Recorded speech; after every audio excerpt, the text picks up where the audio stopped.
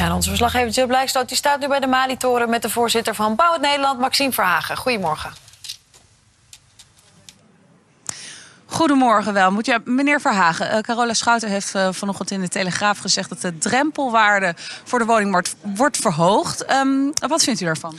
Nou, blijkbaar wordt het, uh, wordt het kabinet wat, wat daadkrachtiger nu de druk toeneemt. de dreiging van de, eigenlijk voor de eerst een demonstratie van werkgevers, werknemers en vakbonden samen...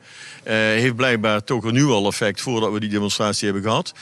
Uh, maar het is een eerste stap. We moeten het eerst zien, want we moeten nu een oplossing hebben. We zijn het zat.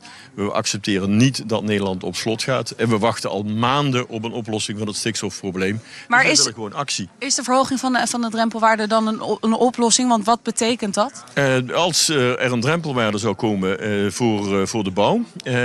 dan kun je eigenlijk alle bouwactiviteiten starten. Want de bouw draagt nauwelijks bij aan het stikstofprobleem. We hebben nauwelijks een uitstoot. 0,6% van de totale stikstof stikstofuitstoot komt door de bouw. Dus op het moment dat je een drempelwaarde maakt die, het, die, dat, die dat eigenlijk uh, mogelijk maakt, die uitstoot, die tijdelijke uitstoot tijdens de bouw, dan kun je weer gaan bouwen. Dus dat is goed nieuws eigenlijk? Als dat gaat gebeuren, is dat op zich goed nieuws. Ja. Uh, ik ben blij dat ze nu eindelijk op dat punt bewegen. Want afgelopen maandag was absoluut niet zover. Toen hebben ik en uh, de vertegenwoordiger van VNO met haar gesproken over mogelijke oplossingen. En toen zat er geen schot in. Uh, blijkbaar is de dreiging van de grootste demonstratie van werkgevers en werknemers samen toch reden om, om wat te gaan bewegen. Maar ik moet het eerst nog zien.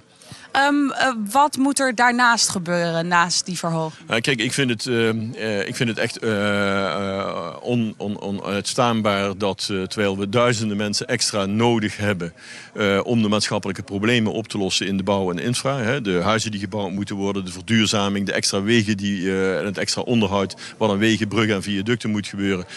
Um, dat, dat dat nu nog niet gebeurt omdat we stilzitten te wachten totdat een drempelwaarde is ingevoerd, totdat we weer vergunningen krijgen. Um, dus om te beginnen moet het nu gebeuren dat we gewoon weer vergunningen krijgen.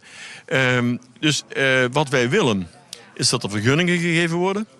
Dat de mensen die nu op een huis staan te wachten, dat die weer uitzicht hebben op een huis. Dat het achterstallige onderhoud wordt op ingehaald.